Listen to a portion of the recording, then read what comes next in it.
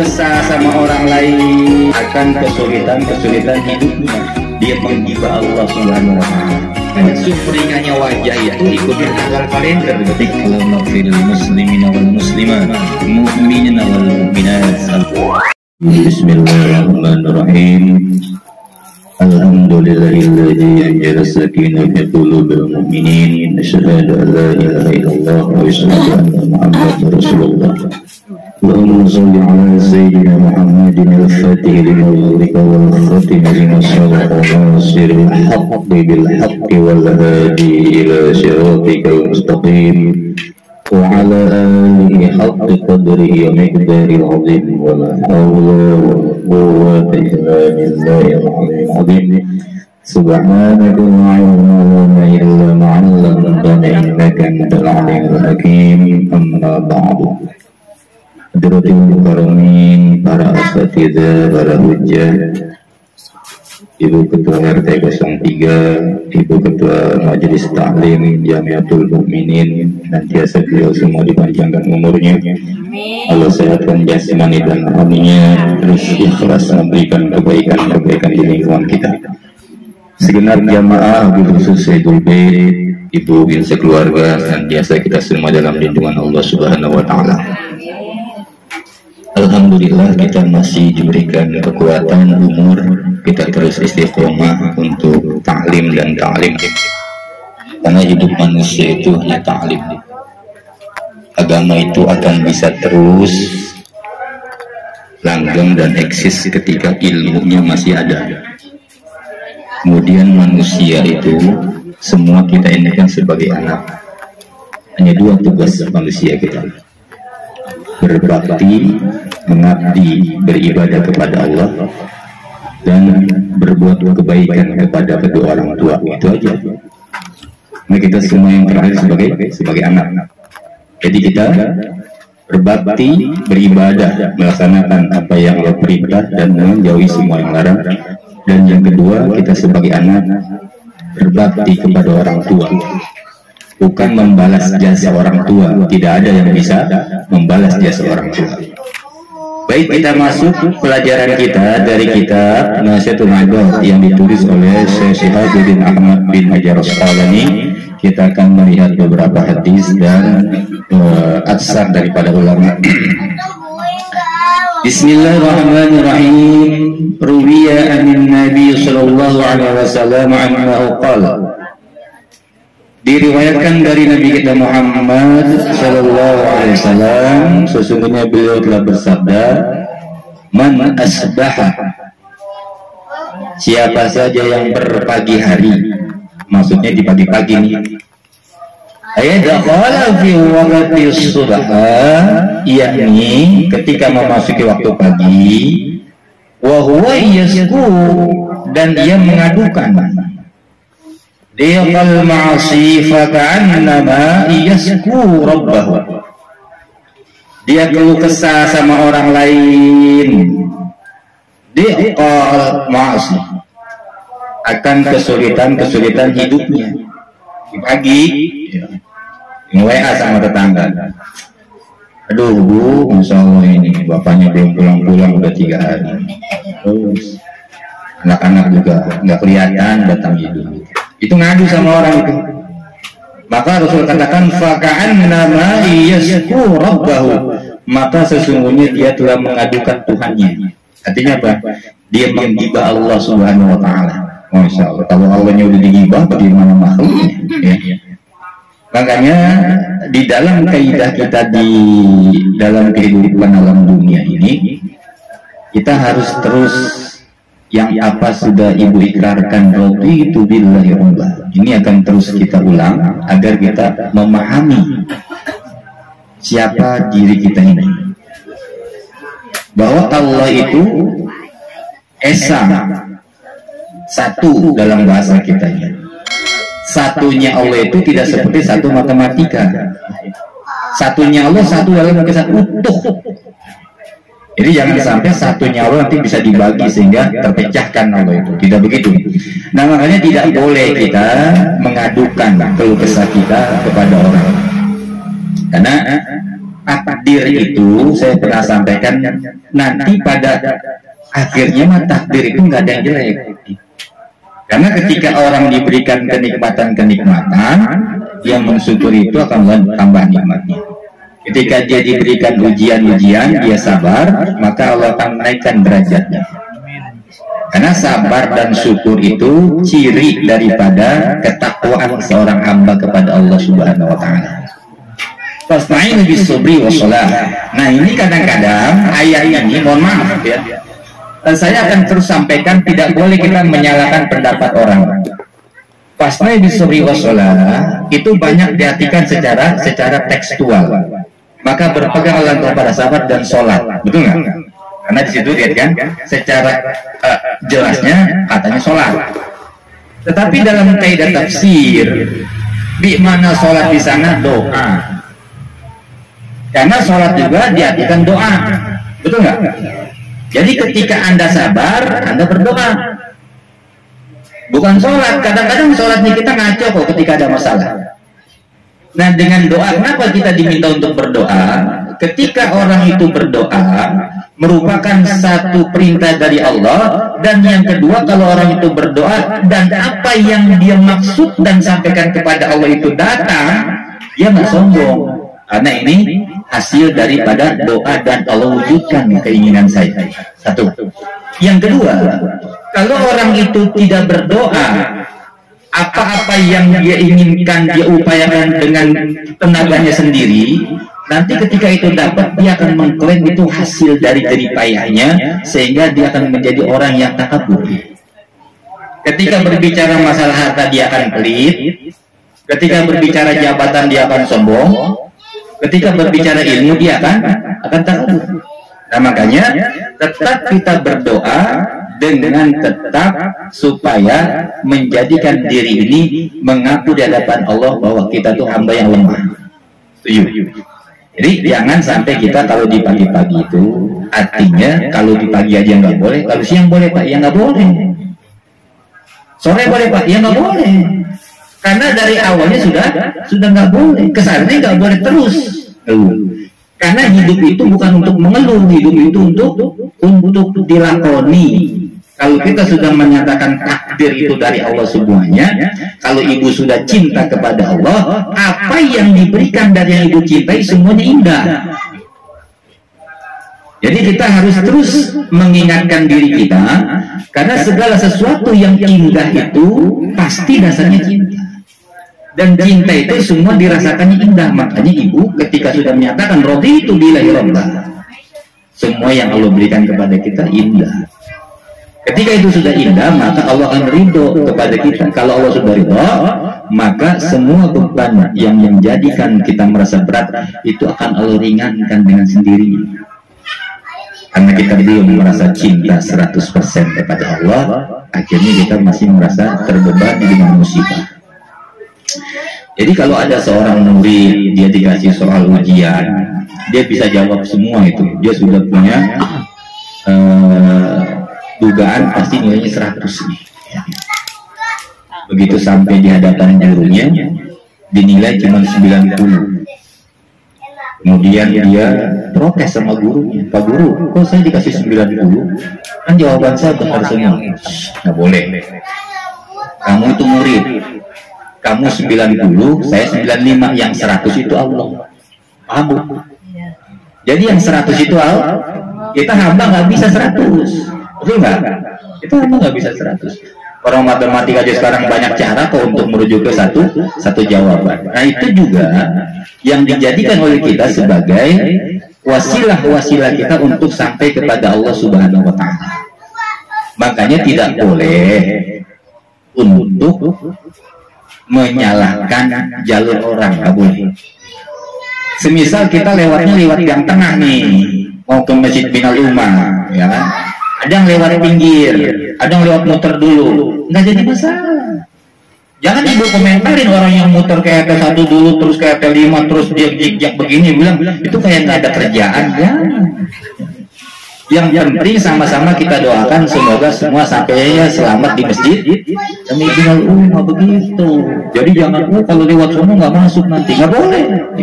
Karena kita bukan bukan pemilik tempat yang saya artikan itu nanti ditujukan kepada surga. Kita bukan pemilik tempat itu, kita bukan pemilik surga. Makanya ada saudara kita yang melewat sini biarin aja. Saudara kita lewat sini biarin aja. Kita mau lewat yang jalur cepat, nggak jadi masalah. Yang penting supaya nanti kita sama-sama sampai kan begitu. Kalau begitu kan kita enak dalam menjalankan ibadah di dalam beragama ini. Nah kemudian wasika ya la illa mengadu itu nggak pantas. Illa illallah kecuali hanya kepada Allah. Jadi ngadu itu kepada Allah aja. Allah yang ngasih soal tanya kepada Allah ya Allah ini jawabannya apa ya, jangan cari contekan. Nggak usah.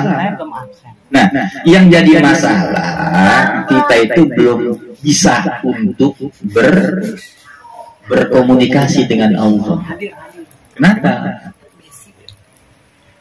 karena kita belum belum cinta kepada Allah kalau sudah cinta kepada Allah itu kalau sudah cinta pakai bahasa isyarat aja ngerti nggak? Bu, bu. Oh, Aisyah aja ngerti.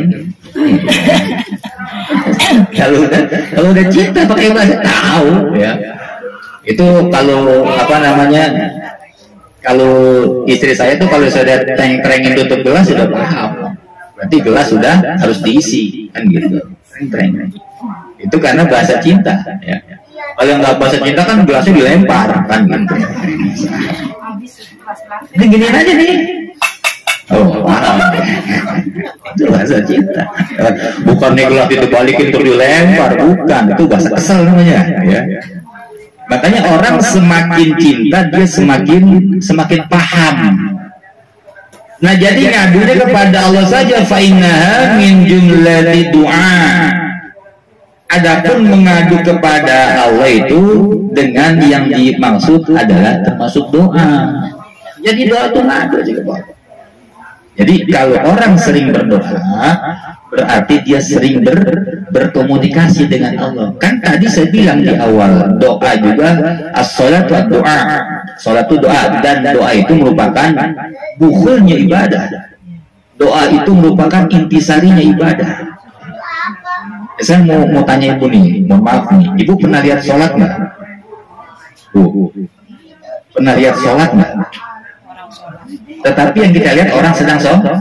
Kalau sholatnya sendiri, nah ini kan masalah. Oh ternyata sholat kita yang lima waktu zuhur, asar, maghrib, isya subuh kita nggak tahu kok. Kita baru bisa takbir, ruku, itidal, sujud, duduk langsung sujud, tahiyat, salam kan gitu. Apakah itu sholat? Jadi sholat itu kan dalam kaidah fikihnya satu perbuatan rukun yang diawali dengan takbir ihram, betul nggak? Ya, kemudian dengan baca fatihah, kemudian ada rukunnya, dan diakhiri dengan salam betul? Pertama takbir. Jangan ada pacaran-pacaran lain ya. Sekarang saya berdiri sini. Allahu Akbar. Ibu-ibu sekarang kita ngaji ya. Nanti habis ngaji kita makan bareng ya. Terus sekian ya. Assalamualaikum warahmatullahi itu sholat gitu nah jadi sholat itu sendiri mohon maaf ini sholat itu merupakan konsep bagaimana orang itu dia bisa paham posisi dia Kemudian nanti pengejaan mata sholat itu 24 jam. Yang diakhiri dengan salam assalamualaikum warahmatullah, assalamualaikum warahmatullah kiri kanan itu nanti pengejawabannya di luar waktu itu. Jadi nilai sholat itu kita bawa pertama disiplin, betul nggak? Kemudian dalam sholat itu jujur. Sholat itu jujur. Mentang-mentang ibu masih kuat, sholat subuh jadi tambahin tiga lah. Hari dalam ya Allah ya kan subuh jadi tiga ya Allah nih hari ini kenapa saya kuat? Kan gitu. Nggak bisa. Disiplin. Betul. Rukunya juga disiplin. Bacanya disiplin fatihahnya juga dibaguskan. kan begitu. Jadi di luar sholat itu makanya orang akan dinilai nanti ketika dia dilihat dari sholatnya dan rukun Islam itu ada berapa rukun Islam? Rukun Islam lima. Yang pertama dua kali syahadat. Kemudian kemudian zakat. atau puasa dulu? Ya, puasa apa zakat? Ayatnya apa dulu? Zakat. Aneh. Puasa itu terjadi perintahnya masih di Mekah atau di Madinah? Madinah.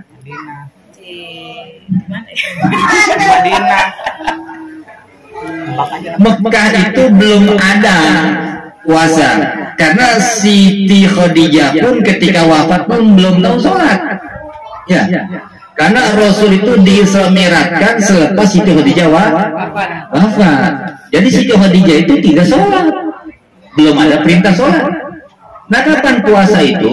Puasa itu diperintahkan bertepatan dengan zakat di tahun kedua Hijriah. Berarti di mana tuh? Madinah. Uh, jarang ngaji juga pinter. Siapa dulu? Nah, enggak, itu nggak boleh. Siapa dulu nggak boleh, nggak boleh. Jadi saya bilang begini bu ya. Nah kita ini, ini saya ingin menyampaikan kepada ibu, ini ilmu nih, ya, ini ilmu. Kalaupun ibu tidak menyembah selain Allah, ibu sholat lima waktu yang disembah Allah. Tetapi ketika di dalam kolbu ibu, ibu itu ada nilai kemusyrikan, yang nanti ibu akan katakan begini, itu dulu itu kalau nggak saya tolong tuh nggak begitu tuh. Ibu pernah dengar ada orang ngomong itu nggak? Ya kan? Dulu lagi susah aja, tiap pagi ke rumah mulu. Sekarang udah saya tolong itu, waduh kayak kacang lupa kulit. Ada nggak bicara Nah itu berarti ibu musyrik sebenarnya yang nolong itu bukan ibu tapi Allah. Kan saya sudah pernah bilang ketika ada orang datang ke rumah ibu minta tolong, hakikatnya Allah menolong ibu untuk bisa menolong orang yang Oh, kalau ngaji begitu. Jadi nggak boleh kita merasa itu kan saya tolong, nggak boleh. Di masjid sudah sudah saya sampaikan berulang kali, jangan sampai nanti kita nggak nyembah selain Allah, tapi ada kemusyrikan. Kenapa? Kalau nggak saya katanya, soalnya kita yang jadi Tuhannya. Ya, ini nggak boleh. Jadi dengan berdoa kepada Allah kita mengadukan keluh kesah kita kepada Allah dan Allah senang jadi sandaran kita untuk surah. Jadi kita hanya isti'anahkan saja kepada Allah, kepada Allah. Sudah Allah senang. Kenapa? Karena kita ketika kita di di dalam itu kita curhat kepada Allah, artinya kita mengakui kita ini hamba yang lemah. Dan Allah senang karena Allah itu mutakabir, Allah jabar. Benar nggak? Tadi kan disebutkan tuh dalam asma-asma Allah itu. Benar, ya kan? Sebenarnya asma Allah nggak 99 bu ya, asma Allah tidak terhitung. Itu hanya yang bisa dirasakan oleh kita dan kita bisa melakukan seperti itu. Jadi cukup Allah 99 enggak itu hanya wakil saja, representatif daripada sifat-sifat Allah yang banyak itu. Kemudian disampaikan dalam kitab ini bahwa amma syikayatu ilan nas adapun mengadu kepada orang-orang fahiya min alamati adami ridha. Itu adalah termasuk tanda-tanda tidak ridho. Bikismatillahi ta'ala lahu atas pembagian Allah subhanahu wa ta'ala kepadanya. Jadi nggak boleh jadi kalau kita suka curhat satu problematika yang Allah berikan kepada kita kepada orang lain berarti kita itu gak itu sementara kita sudah mengucapkan itu billahi Allah kita bohong lagi tuh ya. Dan kita harus punya keyakinan ketika Allah berikan kita musibah, yakin Allah telah memilih kita, kita kuat dan mampu untuk menghadapi dan menjalani musibah itu. Gitu, ya. Kama ruwiya an Abdullah ibn Mas'ud radhiyallahu anhu qala Rasulullah sallallahu ala u'allimukumul kalimah allati ta'allama biha Musa alaihi salam hina jawazal bakhra ma'ana bani Israel wallahu bisawab. Diriwayatkan dari Ibnu Mas'ud radhiyallahu an bahasanya beliau berkata dalam bersabda Nabi Muhammad sallallahu alaihi wasallam. Apa beliau sabdakan? Ala uallimukum. Maukah kalian aku ajarkan? Al kalimati beberapa kalimat allati ta'allama biha Musa alaihi salam yang telah diucapkan oleh Nabi Musa alaihi salam hina jawazal bahra ketika beliau mengori lautan ma'a Bani Israel bersama Bani Israel. Jadi Nabi Musa ketika mengatakan bersama Bani Israel itu kan bingung tuh. Fakulna Lalu kami berkata kata para sahabat, bala ya Rasulullah, tentu ya Rasul, kami pengen dengar itu, itu ilmu. Kala, maka Rasul bersabda, ulu katakanlah oleh kalian. Doa nih. Allahumma lakal hamdu wa ilaikal mustaka wa antal musta'an wa la hawla wa la quwwata illa billahil alil azim Ya Allah yang bagimu segala puji dan hanya kepadamu keluhan diadukan. Semua keluhan diadukan kepada Allah.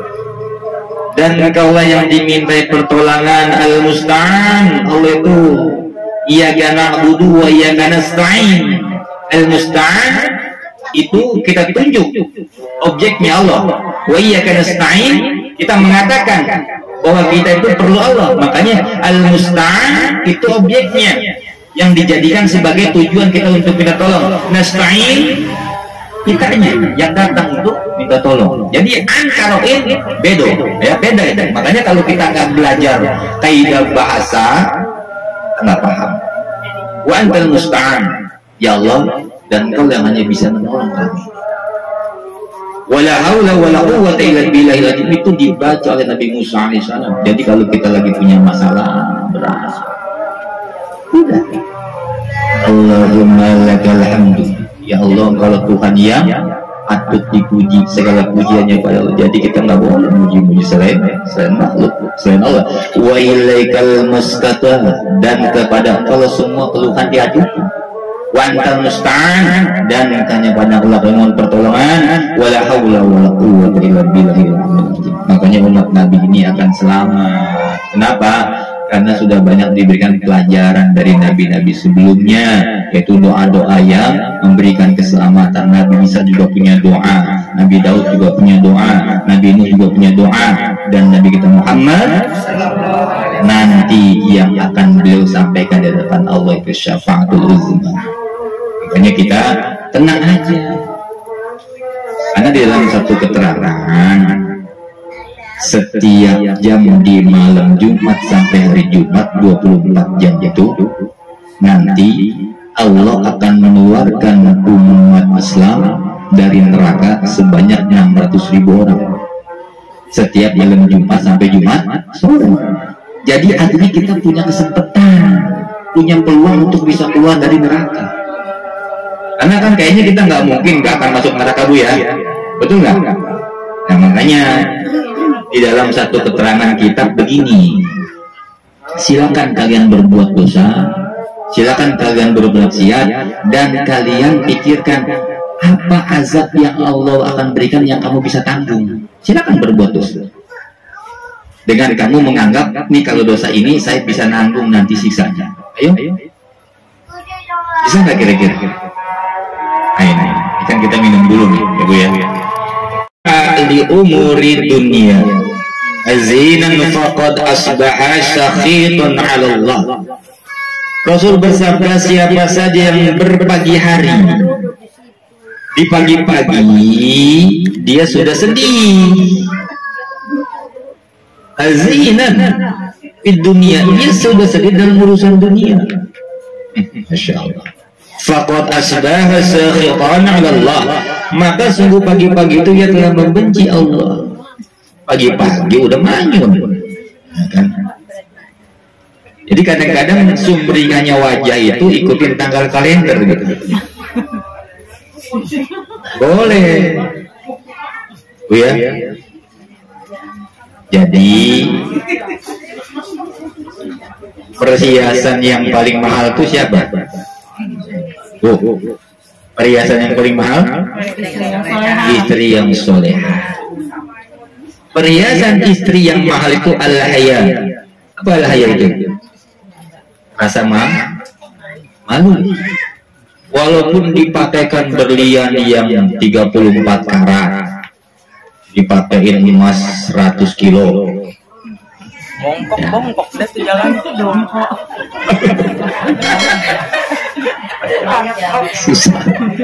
ya saya ngaji ke sana malah malah.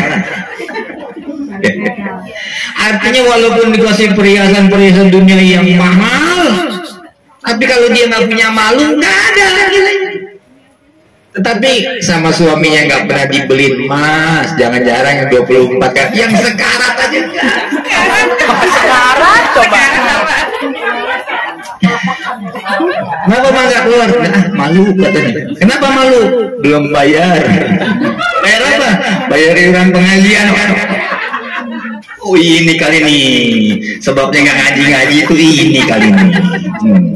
Tinggal kalau saya ditanya Bu Mary, Ibu ke mana Pak Belum keluar duduk lama Bu Mary. Padahal Padahal mah di rumah duduk mulu. Belum bayar uang kas. Tapi sekarang insya Allah lunas lah. Lunas. Jadi kalau minggu depan nggak ngaji tuh nggak ada alasan ya. Nah, nih kalau minggu depan ngaji saya cubit biarin aja. Gimana barusan? cubit. Nih. Jadi kalau pagi-pagi sedih karena urusan dunia, masya Allah kok sarapan nggak ada. Nasi nggak ada. Udah beras aja rendam sebentar masukin mulut ntar juga matang.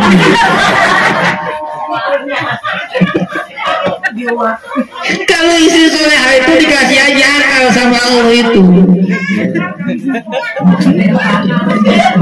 ya Allah, akhir tahun ya akhir tahun ya kan kan nanti minggu ke berapa tuh saya nggak ada nih saya harus berangkat ke Sumatera Barat nanti ah saya buah aja ada eh mau tiketnya udah dibeli tenang aja sih Ke mana barusan? Tiket. Belum beli tiket nih. Allah Masya Allah Wah, gue udah pulang nih. Oh, alhamdulillah. Biasanya kalau habis keluar suka hampir ke rumah tintin gitu. Udah, udah, udah, udah. Biasanya Bu Parti biasanya. Mungkin ini agak sedikit nggak biasa. Wal makna manhazina ala luhur. Jadi kacau nih baca kita Bu Parti sih lah. Koda, koda, koda, koda aja. Udah ntar Maroko menang udah datang. Wal makna manhazina ala umuri dunia maknanya siapa saja yang bersusah hati atas urusan dunia faqad ghadiba ala Allah maka sungguh ia telah marah kepada Allah. Hmm, Masya Allah. Li'annahu lam yarda bi qada'illah dan dia tidak ridho atas ada tetapan Allah Subhanahu wa taala. Walam yasbir. Dan dia tidak sabar. Kan saya udah pernah sampaikan kalau Allah ingin bersama kita kita bagaimana? Kalau Allah ingin tetap bersama kita kita harus sabar. Inna Allah ma jadi kalau Allah mau sama ibu ibu sabar. Tapi ini kan susah. Susah Pegangin, pegangin. Jadi ibu pengennya Allah jauh aja. Udah sabar. ya Allah ini ujung akhir tahun lagi. Masya Allah. Tetangga mau udah mau perancangan akhir tahun tuh mau ke sini mau ke situ. Mau ke Bromo mau ke Dieng. Kita boro-boro Bromo Dieng ya Gunung Agung juga enggak ya? Udah. Yang nggak tahun baruan keluar kita di sini bacakan. Bikin nasi urap. Kalau saya dulu begitu teman-teman bikin nasi urap. Ya bu RT ya. Bikin apa namanya? Tuh yang eh, tempe direndam tuh direndam. Bu, Bu RT mohon maaf ya kemarin saya metik cabai tuh Bu RT ada 15 ya kemarin. Tolong diikhlaskan ya. Saya sama hitung hitung 15 itu ya. karena Mbak pengen makan tahu pakai cabai katanya. Aduh Bu RT nggak ada saya kemarin metik 15 mau diikhlaskan Bu RT ya.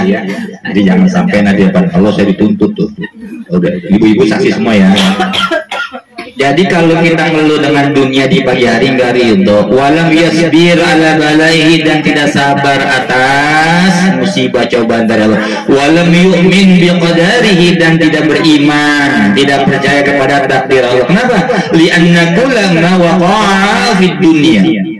Karena sesungguhnya setiap sesuatu yang terjadi di dunia, fahuwa biqada'illahi ta'ala wa qadarihi. Semua itu tidak lepas dari merupakan kodok dan takdir Allah Subhanahu wa taala. Takdir semua yang datang kepada kita takdir. Takdir itu nggak bisa direkayasa semua sudah dituliskan. Jadi saya mau kasih satu penjelasan. Ketika orang mengartikan ayat Al-Quran dengan redaksinya saja, Inna Allah la min qawmin hatta. Allah tidak akan merubah nasib satu kaum di kaum itu merubahnya sendiri. Betul ya? Itu pengertian secara harfiah, secara tekstual. Tetapi kita ingin melakukan satu moderasi dalam beragama, itu nggak ke situ artinya.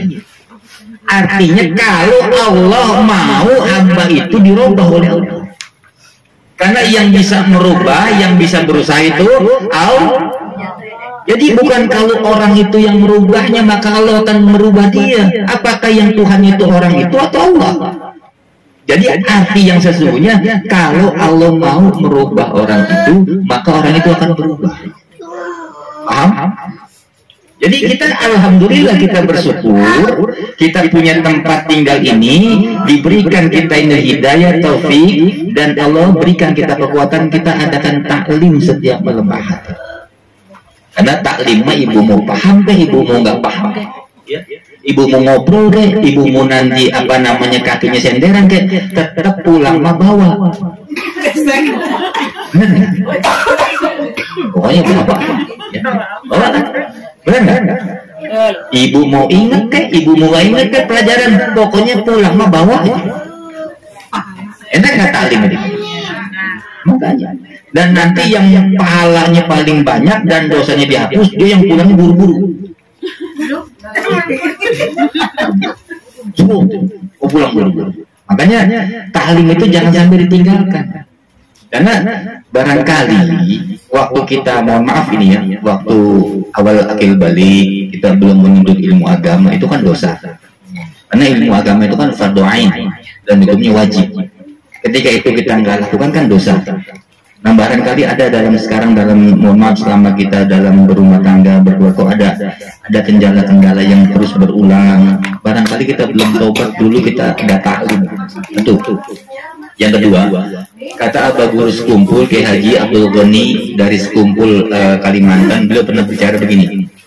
Kalau dalam keluarga ada anak yang terus sakit melulu, itu artinya ada dosa orang tuanya itu yang orang tua itu belum tobat dari dosanya. Jadi kenanya ke anak. Makanya kita sebagai orang tua itu harus banyak sering introspeksi. Kenapa kok anak saya kok sakit terus? Beliau ada dosa-dosa orang tuanya yang belum ditobati sama orang. Nah, kalau kita mau taklim semacam ini, kita duduknya saja sudah Allah ampuni dosa-dosa kita. Ya, satu. Yang kedua, Nanti kalau setiap pulang taklim dirubah berkat anak kasih. Walaupun cuma sesuap, dua suap. Kenapa? Supaya anak itu nanti rendah hati. Karena anak yang sering makan berkat dari pengajian, dari kumpul-kumpul syukuran, itu anak akan rendah hati itu. Paham ibu? Makanya kalau saya suka malam malam ahad ini ngaji, besoknya ke pesantren itu saya kumpulin tuh, besoknya saya bawa. Biar anak-anak pesantren makan, anak saya pun ikut makan. Supaya apa? Ibu-ibu juga nanti rezekinya dimakan sama anak santri. Ya, berkah. Makanya kita kalau sodako kepada orang alim itu lebih utama daripada yang tidak alim. Ya kan? Makanya kalau mau lebaran ustadz-ustadz pasang merek, zakatnya ke ustadz tadi ya, kan boleh tapi nggak boleh begitu zakat itu kan kecil ya. Jadi ibu kalau ke ustadz tuh thr kan gede. Kode. Hilang malah wa man tawadha li ghani li ghidahu faqad dhahaba sulusadini yang ketiga Rasul bersabda siapa orang yang dia merendahkan diri di hadapan orang kaya maka dia telah menggadaikan dua per tiga imannya oh, Allah ya. makanya kita itu dalam bermasyarakat harus saling memahami Ini saya kasih rumusan ya. Ketika kita kan di HT3 ini kan kita beda-beda ya Bu ya. Ya. Nah untuk bisa kita bisa mensikapi perbedaan namanya tol toleransi. Jadi toleransi. Ya udah, ibu-ibu saya saya. Ya. Tapi kalau saya ganggu orang ibu, ibu akan marah. Pun sebaliknya. Ibu ganggu orang saya, saya akan marah. Artinya ketika toleransi pun akan tetap ada timbul konflik. Jadi menyikapi perbedaan yang paling rendah itu namanya toleransi. Mau dinaikin satu level nggak ngaji? Mau dinaikin satu ilmu nggak saya kasih? Selain toleransi itu yang paling rendah. Saya mau saya mau kasih mau saya kasih ilmu nggak? Supaya jadi nanti tidak berantem, walaupun beda. Namanya mutual understanding. Apa bu? Saling mengerti. Karin mana Karin? Translatornya Karin nih. Jadi kalau toleransi masih ada untuk orang itu konflik. Tetapi kalau sudah pada level apa tadi? Mutual. Mutual? Pokoknya mutual standar lah. Standing. Makanya sekali-sekali ngaji makan burger. Jadi tidak. Bulurah, bulurah. Kok saya nggak dikasih sama bulurah? Bulurah tuh, masya Allah, menyai bener bulurah. Itu kalau makan burger tuh perutnya menerima nggak? Masa. Semoga Bu Dora panjang umurnya. Ya. Jadi kalau toleransi masih ada celah untuk tidak tidak baik bertengkar. Tapi kalau sampai mutual understanding, artinya apa? Ya sudah, ibu bisa ngasih apa, kami ngasih apa. Kan begitu, benar nggak? Seperti ini nih, ngaji ini. Ini kan beda-beda nih. Ada mutual understanding, ada yang ngasih ini. Tetap jadi semua berkontribusi yang baik. Kalau udah sampai di situ, nggak ada lagi berantem berantem kita hidup bermasyarakat enak kok, betul nggak? Jadi tidak hanya toleransi, yang kedua kita naikkan levelnya dalam berjamaah namanya mutual. Dua pekan lagi saya akan tanya. Kalau belum hafal saya nggak naikin yang ketiganya, ya kan begitu. Wallahu alam bisawab. Semoga yang singkat ini manfaat karena saya mau ngaji lagi. Ya, jadi saya pesan ibu-ibu yang sudah ngisi daftar untuk besok ikut khatamil Quran, insya Allah hadir. Ya, karena insya Allah kita besok akan memulai menaikkan kubah masjid kita. Semoga Allah berikan kelancaran, keselamatan, dan kita semua mendapat ridho Allah Subhanahu wa taala. Ya. Jadi juga udah disiapkan menunya sih, cuman saya belum bisa kasih bocoran karena itu masih rahasia. Ada, ada tahu. Kok saya kalah gitu? Emang ibu-ibu ini masya Allah nih maunya cari tahu dulu sih. Gak boleh Bu Pardi ya, gak boleh. Ada pertanyaan Bu? Gak ada. Baik. Kalau ada pertanyaan, kita akhiri taklim pada malam hari ini. Kita berdoa kepada Allah. Nantiasa ibu-ibu semua, istri saya menjadi istri yang soleha. Suami ibu, Pak Winoto, saya Allah jadikan menjadi suami yang soleh. Anak-anak saya, anak-anak ibu menjadi anak-anak yang soleh dan soleha. Allah berikan kesembuhan kepada putra-putri kita dalam menuntut ilmu, sehingga mereka bisa mencapai apa yang mereka cita-citakan. Allah jadikan keluarga kita sakinah, mawaddah, rahmah, penuh berkah dari Allah Subhanahu wa taala. Saudara kita, orang tua kita, anak-anak kita, sahabat kita, kerabat kita, teman-teman kita, jamaah kita yang sedang sakit, lebih khusus Ananda Desi supaya kembali sehat kembali dan bisa beraktivitas sebagaimana biasanya. Dan kita doakan Ibu Ketua RT 06 Ibu Mangun Ibu Mujiati yang sekarang saya dapat kabar katanya akan dirujuk ke Darmais. Semoga Allah berikan kekuatan, Allah berikan ketabahan, dan Allah ringankan sakitnya. Dan kita doakan jamaah kita, orang tua kita, sahabat kita, teman-teman kita, eh, tetangga kita yang sudah meninggal dunia. Allah ampuni segala salah dan dosanya, diterima iman Islamnya, Allah lapangkan barzahnya, diikhlaskan semua amalnya, menjadikan kuburnya bagian dari taman-taman surga Allah Subhanahu Wa Taala. Dan terus kita memohon Allah panjangkan umur kita disehatkan jasmani rohani kita Allah kuatkan iman Islam kita dan Allah takdirkan kita semua menjadi hamba-hamba yang taat beribadah kepada Allah Subhanahu wa taala. Terus kita bermunajat berdoa kepada Allah. Allah berikan kemudahan Allah berikan kelancaran Allah berikan perlindungan dan keamanan kepada kita semua. Di dalam kita merenovasi masjid yang kita cintai dan Allah mewujudkan masjid yang kita cita-citakan dan kita semua mendapat ridho Allah Subhanahu wa taala. Allahumma yasir wa la tu'asir. Allahumma tamim bil khair. Allahumma yasir wa la tu'asir. Allahumma tamim bil khair. Allahumma yasir wa la tu'asir. Allahumma tamim bil khair bi rahmatika ya arhamar rahimin. Bi barakatil Quran al-Fatihah.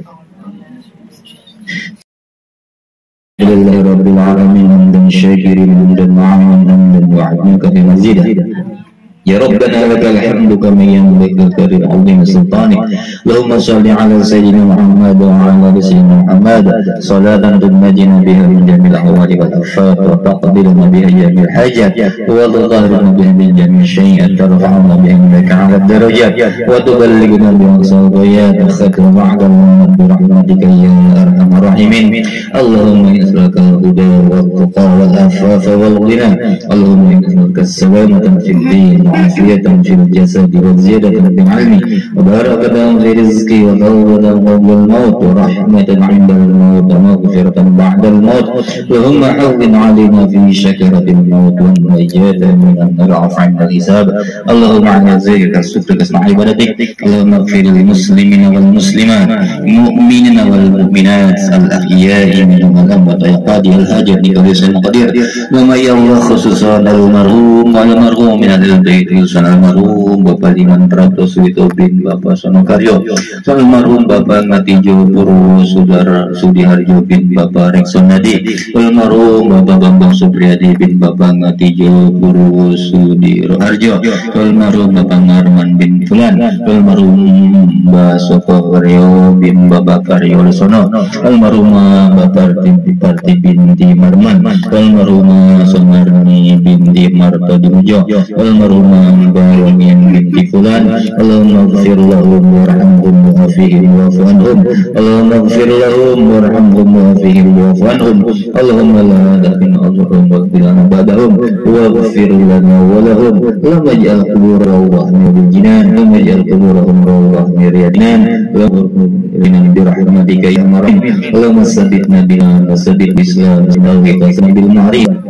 وسلم إيماننا وسلم غيدنا وسلم بنفسنا اللهم سلم أمهاتنا وسلم آبائنا وسلم جدنا وجداتنا وسلم إخواننا كالمسلمين والمسلمات مؤمنين والمؤمنات من المشرق والمغرب اللهم سلم أولادنا وسلم أزواجنا وسلم بهذا البيت وسلم بهذا البيت وسلم بهذا المجلس برحمتك يا أرحم الراحمين ربنا ظلمنا أنفسنا وإن لم تغفر لنا وترحمنا لنا من الخاسرين لا إله إلا أنت سبحانك إني كنت من الظالمين رب اغفر لي ولوالدي رب اغفر لي ولوالدي رب اغفر لي ولوالدي رب اغفر لي ولوالدي رب اغفر لي ولوالدي رب اغفر لي ولوالدي رب اغفر لي ولوالدي رب اغفر لي ولوالدي وارحمهما كما ربنا صغيرا ربنا هب لنا من أزواجنا وذريتنا قرة أعين واجعلنا إماما رب اجعلنا مقيم الصلاة من ذريتي رب هب لي من الصالحين.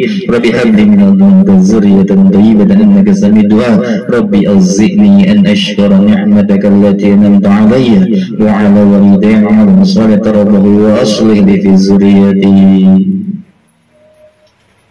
وأصلح لي في ذريتي. وأصلح لي في ذريتي. إني تبت إليك وإني من المسلمين. اللهم يا حفيظ ونصير يا لطيف يا وكيل يا الله. اللهم ألف قوة وألف رحمة وألف بركة وألف دواء وألف رزق rahmatika ya arhamar rahimin Allahumma barik fi awal angkit bika mati protekti bapak binoto wa firi sanggi kawistara bin bapak binoto kafikum bi ta'atika bi rahmatika ya arhamar rahimin kafikum bi ta'atika bi rahmatika ya arhamar rahimin kafikum bi ta'atika bi rahmatika ya arhamar rahimin rabbana taqabbal minna wudhu wa salata wa siyama wa qiyamana wa rukuana wa sujudana wa qadana wa tadarrata khashan ta'abudana wa tahlu وتهليلنا وتسبيحنا وتكبيرنا وتحميدنا وتعليمنا وتمن تقصيرنا يا الله يا الله يا أرحم الراحمين ربنا لا تجي قلوبنا بعد إذ هديتنا وهب لنا من رحمة إنك أنت الوهاب يا الله بها يا الله بها يا الله بحسن الخاتمة يا الله بها يا الله بها يا الله بحسن الخاتمة برحمتك يا أرحم الراحمين ربنا آتنا في الدنيا حسنة وفي الآخرة حسنة وقنا عذاب النار ربنا تقبل منا إنك أنت السميع العليم وتب علينا إنك أنت التواب الرحيم وصلى الله على النبي سيدنا محمد نبي الأمي وعلى آله وصحبه وسلم بفضلك سبحان ربك رب العزة عما يصفون سلام على المرسلين والحمد لله رب العالمين sekian ibu-ibu semua apa-apa yang kita sudah mohonkan kepada Allah segera Allah wujudkan. Dan kepada kita semua kita mohon kepada Allah atas segala apa yang kita punya cita-cita dan kita ingin punya hajat Allah segera dan berikan kelancaran kepada kita semua. Batin semoga kita bisa ketemu lagi di tahun 2023 ibu semua panjang umur. Semuanya dan kita semua sehat terus. Kita memberikan kebaikan-kebaikan di kita Sekian dari saya, mata air batin. Assalamualaikum warahmatullahi wabarakatuh. Waalaikumsalam warahmatullahi Terima kasih kepada Bapak Ustadz Muhammad Hendra yang sudah menyampaikan tausiahnya kepada kita semua. Semoga apa yang beliau sampaikan bisa membawa kita ke arah yang lebih baik lagi dan semakin meningkatkan keimanan dan ketakwaan kita kepada Allah Subhanahu wa taala. Marilah ibu-ibu kita akhiri taklim pada malam hari ini dengan membaca istighfar dan doa penutup majelis. Astagfirullahaladzim, astagfirullahaladzim, astagfirullahaladzim. Subhanaka Allahumma wa bihamdika ashhadu an la ilaha illa anta astaghfiruka wa atubu ilaik. Sebelum saya tutup, mohon maaf jika eh, acaranya sebelumnya belum ditutup eh, Mohon maaf untuk konsumsinya jangan dikeluarin dulu ya ibu-ibu ya. Jadi kita biar selesai dulu acaranya ditutup baru kita keluarkan konsumsinya. Terima kasih. Wabillahi taufiq wal hidayah. Wassalamualaikum warahmatullahi wabarakatuh. Waalaikumsalam warahmatullahi wabarakatuh.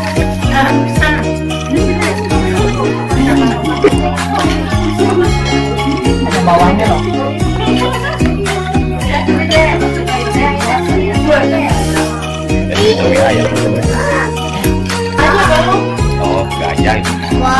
Ini motor dulu. Tanggung itu udah nanti aja.